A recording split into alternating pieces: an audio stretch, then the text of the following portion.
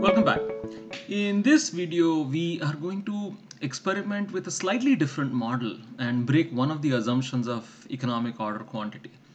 And this assumption is that the inventory has to go to zero before um, new inventory is ordered, which is not usually the case. Most businesses would like to keep some safety stock.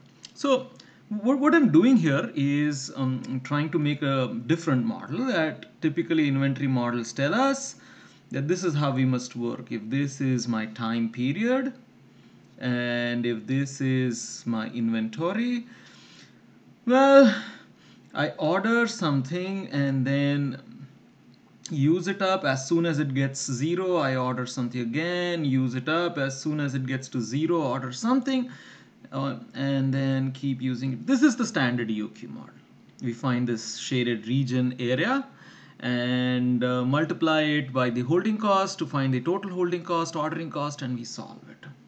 Now, in the model that um, I am trying to bring here uh, to the discussion is only slightly different. What am I doing is, I'm going to here force this model to have a safety stock which is equal to so much. This number here is the stock that I force it to hold, which is some safety stock value, which is S.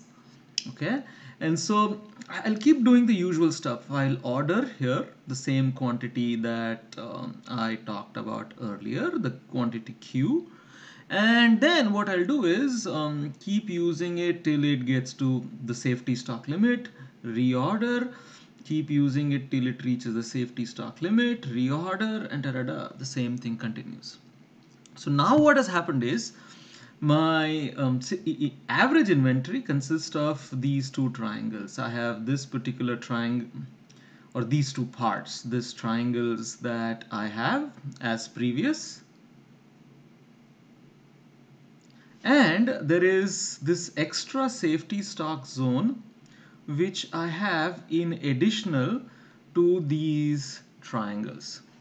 So in my calculations for average inventory, um, just a little bit of geometry, what I'll have to do is I'll have to find the area of the triangles and then also the area of the shaded green rectangle.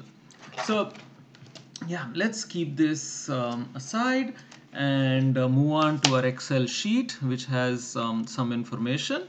Uh, same data, everything is exactly same except that I've added that the company decides to keep a safety stock of 500 units. Uh, SS is the safety stock. I think I have already named it. You can go here, go to formulas, name manager. Yeah, I've already put the names. I've put some addition, but I'll delete it so that we can restart. Close. I go to create from selection. It uses the left column. It creates the names and then I have to model. So the way I start modeling is my order size which is Q. I have the total holding cost which is TH.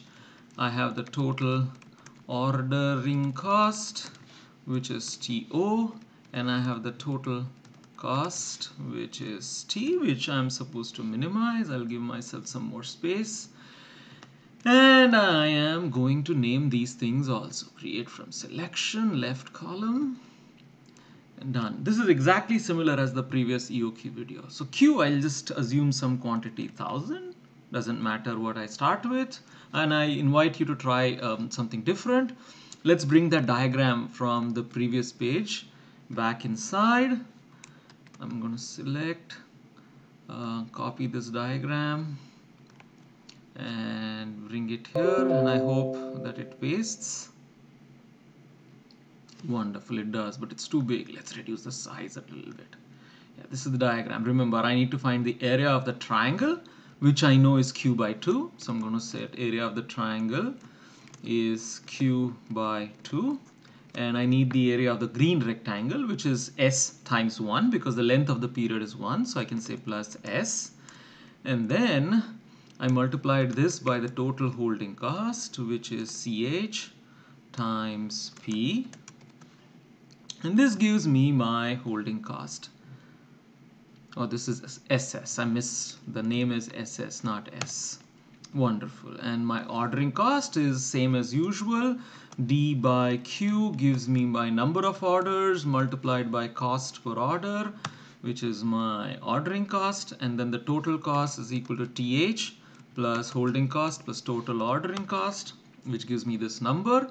And um, to solve it um, very simple I go to data. Mm, our friend solver and I say I have to set objective is my total cost T which I need to minimize. Only thing I can change is Q GRG nonlinear and then I ask it to solve it. And what I get is um, this values. It says um, this number is exactly same as the EOQ um, 4618 if you remember the previous video uh, but the holding cost and the ordering cost are not equal to each other. They're different because the holding cost increases by this green triangle a green rectangle area which is I order 500 units for the year and 1.5 units so $750 it should be more than that. But yeah so um, EOQ doesn't change even if you order um, have keep a certain safety stock that's what this uh, proves but a simple thing that I want you to learn from this video is this idea that you can keep breaking the assumptions all you do is change the model a bit put it in the same method and solve it again and um, you can get um, the answer for the uh, order quantity so that the total cost is minimized.